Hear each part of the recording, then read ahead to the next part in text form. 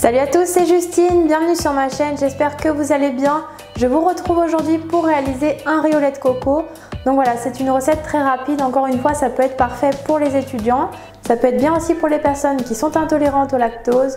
Je vous laisse avec les ingrédients à la suite de la recette.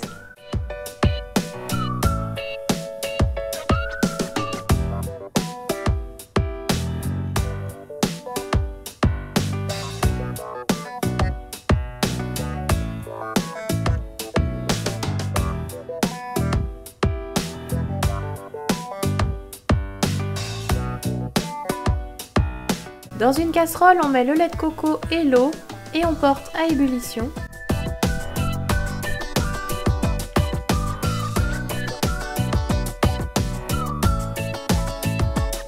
Arrivé à ébullition, on ajoute le riz et la cannelle et on baisse le feu.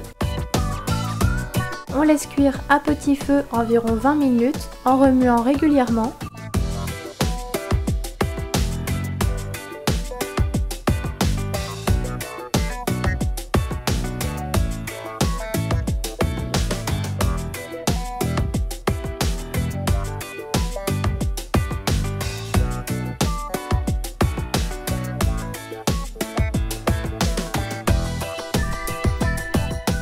Après 20 minutes, j'ajoute le sucre et je mélange.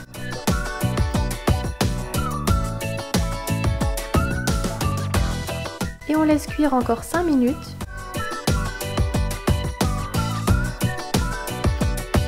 Après 5 minutes de cuisson, on retire la casserole du feu et on laisse refroidir quelques minutes. Je viens ensuite faire légèrement dorer la noix de coco râpée dans une poêle. Donc attention à ne pas la faire griller.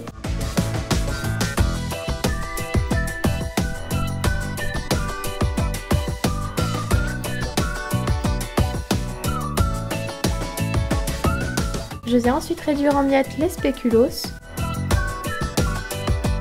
Puis je viens répartir le riz dans les verrines.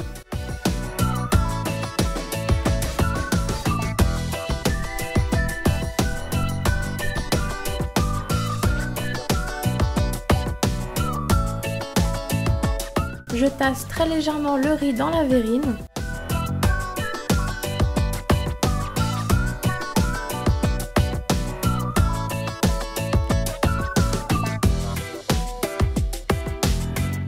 Je viens ensuite répartir la noix de coco râpée sur le riz.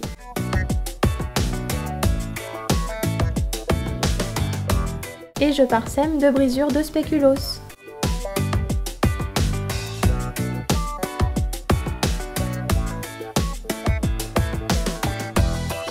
Et voilà, les verrines sont terminées.